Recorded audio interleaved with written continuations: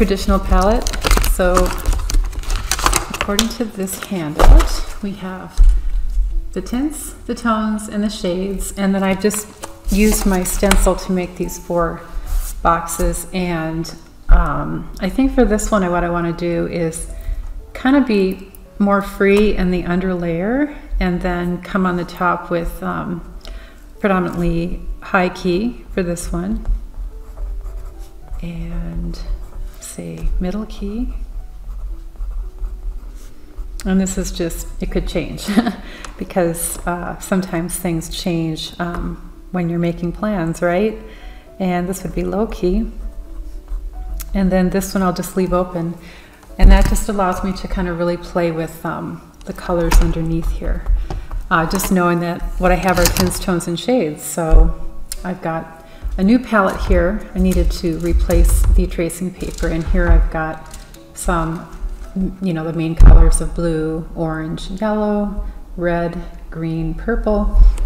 I might have to add to that, but for now, I just want to kind of have a loose um, underpainting. I have some airbrush medium here, so I'll just wet my brush with that and start to dip into these colors. And then I'm going to need some white. I'm just going to kind of mix it right here on the paper. There's my tint of yellow. Might be a little streaky because I'm mixing on the paper, but that might actually be good in the underpainting. Now I'm going to put down the colors. I have started with yellow, cad yellow light, blue, and cad orange. It's kind of keeping track.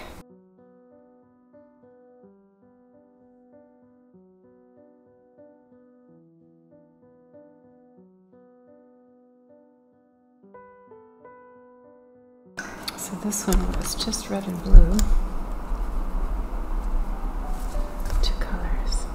Warm and a cool.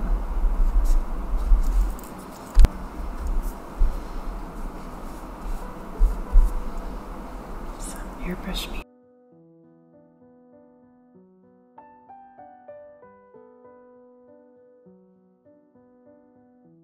Be green, purple, and orange.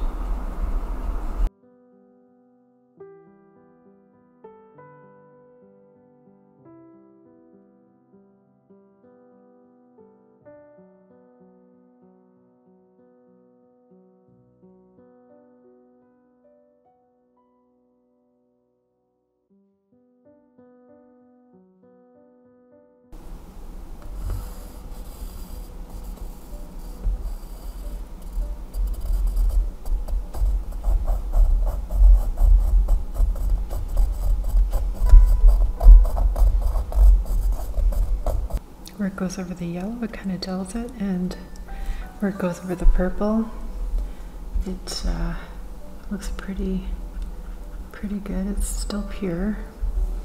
So if I come down here,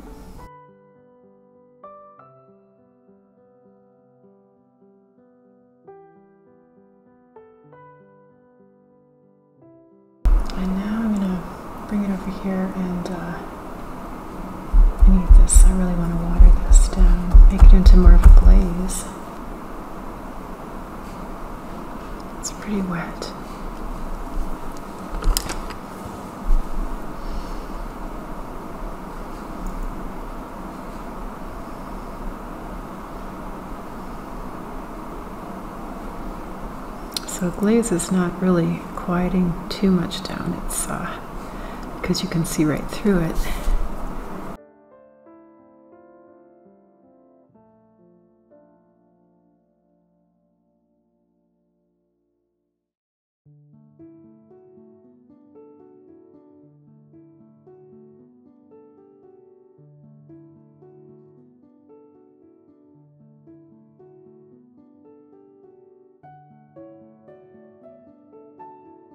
Still have a lot more to go, but I'm really enjoying the palette. It's really fun. I'm continuing to work on this one down here. Uh, it's had a couple days just to dry and I'm going to uh, try and expand the range of color. It feels kind of um, like this is really bright, but then everything else is kind of dull. So I just want to add a little bit more interest in the this layer and explore the palette. This is a traditional color palette.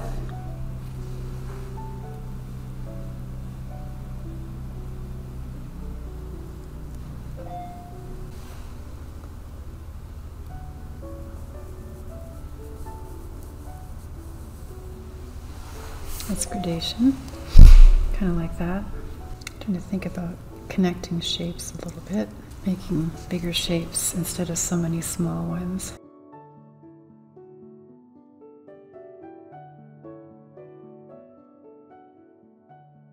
Every time you change value, and if you're like trying to add to some area, you're you could be adding a brand new shape. That's why uh, I mean, you could be adding a really noticeable brand new shape. So that's why, like, if I were to go into this area, I'd want to really match that value. Otherwise, I'm breaking up a big shape and making it into smaller shapes.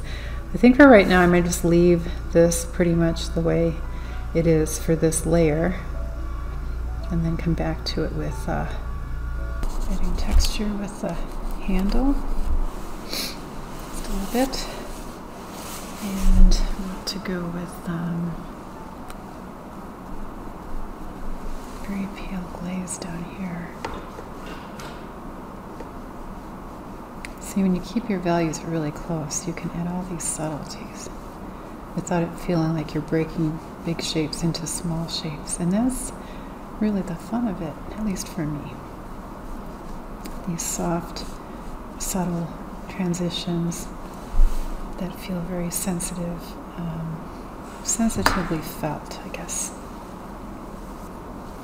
Amazing how quickly something like a strata painting can turn into what looks like a landscape without even really trying. It's a good way to combine abstraction with some, or semi, make it semi-abstract so that it's a little bit suggestive of a landscape.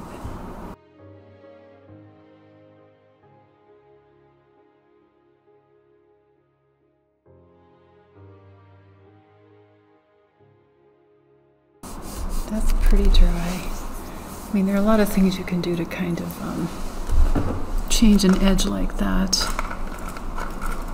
from even a blade, which, you know, it's just paper, but if you're careful, you can kind of soften the edge. It doesn't have to just be only while it's wet or only with sandpaper.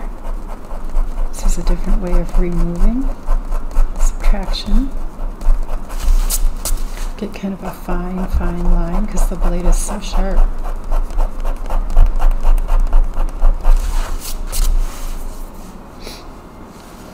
So any place I want to kind of soften or change an edge. This one's light, pretty light. That's pretty mid-tone. This one, that's pretty dark. So this is my middle key, high key, and this is supposed to be my low key. Wow. I think I'm gonna make this one my low key instead. This one's my low key. This one was like, I w I didn't want to really make my mind up ahead of time what key it was gonna be, but if this is gonna be low key, then midtones and lights are really gonna stand out. So I added, and now I'm subtracting small areas here just for that lost and found feeling of line.